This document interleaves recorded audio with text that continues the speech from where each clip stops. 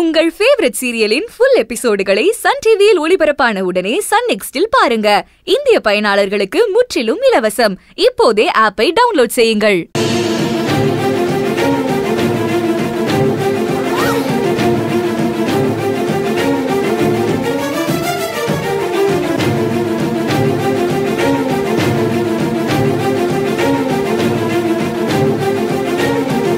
உனக்கு கொஞ்சமாவது பொறுப்பு இருக்கா சங்கவி?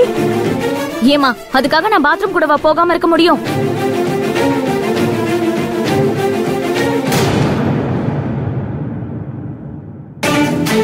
இந்த ஒரு செயினை மட்டும் காணுண்டி. உங்க அப்பாவுக்கு தெரிஞ்சா ஒன்ன விட்டுருவாரு. என்கிட்ட வந்துதான் எல்லாமே கேப்பாரு. ஏய் ரூமுக்கு யாராவது வந்துட்டு போனாங்களாடி? ஏன்? மகேஸ்வரி தான் வந்தா? அவ எடுத்திருப்பான்னு சந்தேகப்படுறியா? மகேஸ்வரியா? அவெல்லாம் எடுக்க மாட்டாடி. நம்பிக்கையான பொண்ணு அவ முதல்ல வயசுல மூத்தவங்களுக்கு மரியாதை கொடுக்க கத்துக்கோ. என்னதான் நீ வா போன்னு பேசுற. அடுத்தவங்க கிட்டயாவது ஒழுங்கா நடந்துக்க. இப்போ மோரல் கிளாஸ் எடுக்க ஆரம்பிச்சிடாத. அவ எடுத்தான்னு நான் எங்க சொன்னேன்? நீ தான் யார் வந்தாங்கன்னு கேட்ட. நான் மகேஸ்வரி வந்தான்னு சொன்னேன். அவ வந்துட்டு போனதுக்கு அப்புறம் நகையை காணும்னா சந்தேகப்படாம இருக்க முடியுமா? அதுக்குன்னு சும்மா யார் மேலயும் சந்தேகப்படுவியா நீ? மா உனக்கு தெரியாது. நான் இத சும்மா விட மாட்டேன். ஏற்கனவே நான் சொல்லாதத திருச்சி சொல்லி எனக்கும் அதுக்கும் சண்டை மூட்டி விட்டுட்டா. நீயே பார்த்தல்ல? ஆதி எப்படி வந்து திட்டினான்னு? இப்போ நகைய வேற எடுத்துட்டு போயிட்டு இருக்கா அவள நான் சும்மா விட மாட்டேன். சங்கவி இரு. எதுக்கு எடுத்தாலும் ஏன் இப்படி கோவப்படுற? முதல்ல நகையை தேடி பாப்போம் அப்புறம் எதுனாலும் பேசிப்போம்.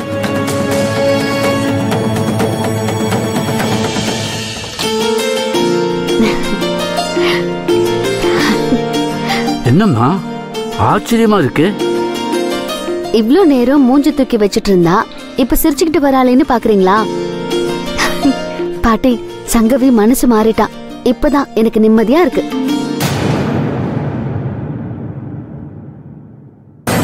தாத்தா நிஜமா தான் சொல்றேன்.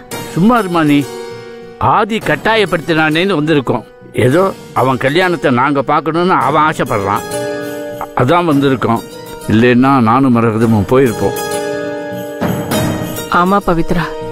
தாத்தாவுக்கு இங்க இருக்கிறதுக்கே பிடிக்கல. சங்கவி இவ்வளவு மோசமா நடந்துக்கிறாளேன்னு அவளை திட்டிக்கிட்டே இருக்காரு. தாத்தா இனிமே அதுக்கு அவசியமே இருக்காது. சங்கவி என்ன சொல்லியிருக்கா தெரியுமா? என் கல்யாணத்துக்கு வரக்கூடாதுன்னு சொன்னது பெரிய தப்பு. இப்பதான் புரிஞ்சுக்கிட்டேன்னு சொல்லியிருக்கா. உங்கள்கிட்ட சொன்னாளா? இல்ல தாத்தா மகேஸ்வரி அக்கா கிட்ட சொல்லியிருக்கா. அவங்களுக்கு கூட அந்த சங்கவி பேச்சே எடுக்காது. பவி? ஆ வாங்க சீத்தம்மா என்ன இது?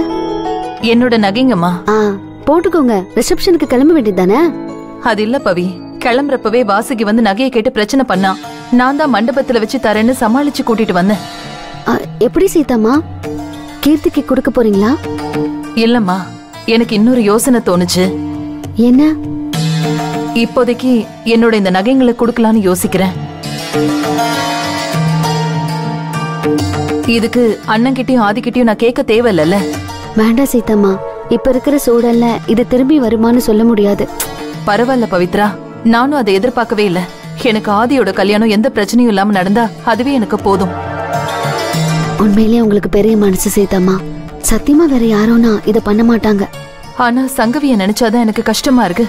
விளையாட்டுத்தனமா தான் துடுக்கா பேசுறான்னு நிறைய விஷயங்கள்ல நான் நினைச்சிட்டு இருந்தேன். ஆனா இப்படி உன் மேல ஏன் அவ்வளவு வன்மத்தை வச்சிருக்கான்னு எனக்கு புரியவே இல்ல.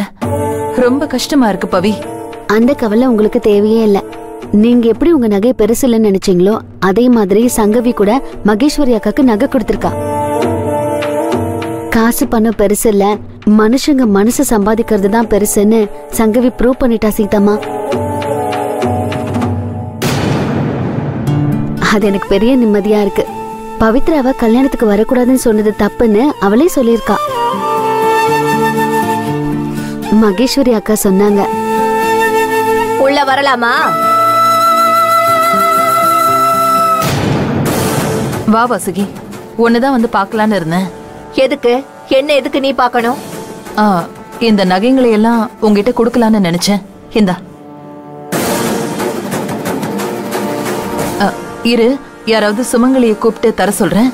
பரவாயில்ல சீதா. நான் தான் அன்னைக்கே சொன்னனே தங்கத்துக்கெல்லாம் தோஷம் இல்லைன்னு. நீ வேணா பவித்ரா கிட்டே கொடுத்து கொடு. அம்மா நீங்க வாங்க. நீங்களே கொடுங்க. புடியா?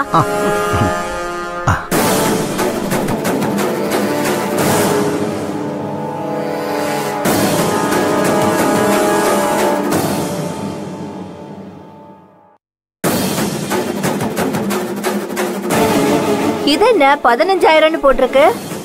அது உனக்கு வாங்கினது வாசுகி. பதினஞ்சாயிரம் தான் எனக்கு மதிப்பா?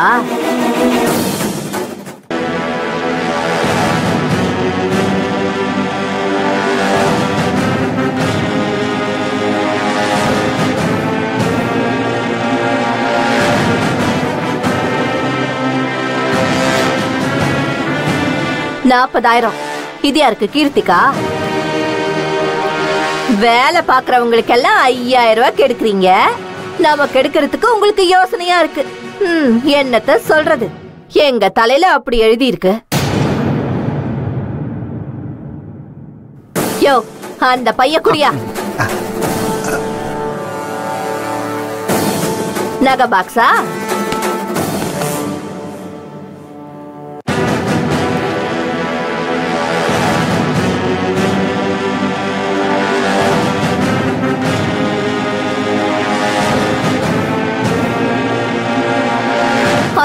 மாதிரி இல்லையே. கொஞ்சம் தான் இருக்கு. இது சீதாம்மாவோட நகை. சீதா என்னது இது? கீர்த்தி நகை எப்படி பார்த்தாலும் நூறு பவுனுக்கு மேல தேரும். இதுல முப்பது நாற்பது கூட இருக்குமான்னு தெரியலையே. என்ன இத கொடுத்து எங்களை ஏமாத்தலான்னு பாக்குறியா? ஏமாத்தெல்லாம் பார்க்கல.